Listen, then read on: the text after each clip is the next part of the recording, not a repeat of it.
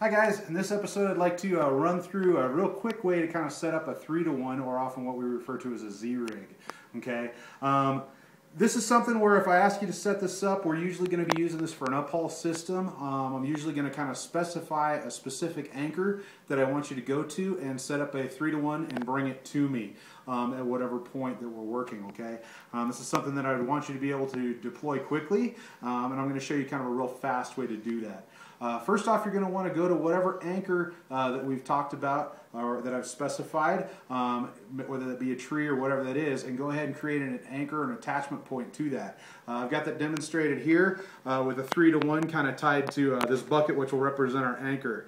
Um, once you get there, the items you're going to need, uh, you're going to need two carabiners, um, you're going to um, need at least two pulleys, and you're going to want one length of rope, as well as um, prusik cords of two different lengths, okay? Um, within our kits, we generally have these marked with different colors. Um, in this kit's case, they're marked in yellow and blue. Um, and that way you'll have two different lengths there uh, to set this up. Okay, once you've established your anchor, however you want to establish that, whether that be a uh, Wrap 3 pull 2 um, or any other kind of tying system as far as like a tensionless hitch or something like that, um, to your anchor point, then you're going to actually want to set up the 3 to 1 system. Um, generally speaking, we have our ropes pre-staged with a figure 8. Um, safety, you'll want to double check, make sure that that's correct. In this case, it is. Okay, um, And then you can set this up pretty small. I've always found this to be useful to set up small. What you want to do is set this up with your figure 8 kind of facing away from your anchor point. Okay, and set up a Z configuration. Uh, basically something just about like this, okay? Um, which will help you set up your 3 to 1. Um, you can use any number of different types of pulleys that we carry uh, to set these up. Um, so long as they're a general use rating on the pulley itself. You want to make sure that these are set up for rescue loads, not personal loads. Okay, um, so there's a variety of different pulleys here that you could utilize. Um, we do prefer that you tend to stick with some of these smaller ones and avoid ones like the big knot passing pulley because that'll probably be needed elsewhere on the scene. Uh, so stick with these smaller pulleys um, for setting up your three to ones. Okay.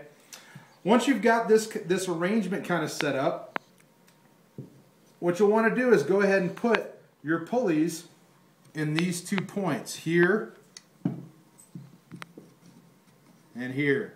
Okay, what we're looking to do is set up a 3 to 1 mechanical advantage. Okay, once that's set, go ahead and anchor this pulley to your anchor. Okay, so we'll go ahead and hook that in with a carabiner. Make sure we lock that off appropriately. Okay, so in this case we've got it set up to our Wrap 3 pull 2. And then on this side, you're going to take your other carabiner and you're going to hook it through your pulley, but you're also going to hook it through your figure 8. Okay, the other thing you're going to want to hook in here are your two prusik loops. Okay, you can go ahead and undo these since they'll come probably coiled like this in the kit. You can go ahead and flake these out. Okay, and you'll note that these are two different length prusiks. That'll come into play a little bit later in the system when this ties in. Okay, and you can just go ahead and at this point hook these in right here also in the same carabiner, like so.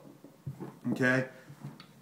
Once you've got this established and you've locked off all your carabiners and made sure everything is safe, at this point, you've set it up small as a 3 to 1, and now you can go ahead and stretch it to whatever position it's needed. Okay, You'll want to keep in mind what's going on with your rope bag at that time. Um, and once it's stretched out like this, this here will become your haul line for your haul team, and then this here will become the point at which um, your other rope is attached off of these Prusik cords and actually hauled up the system.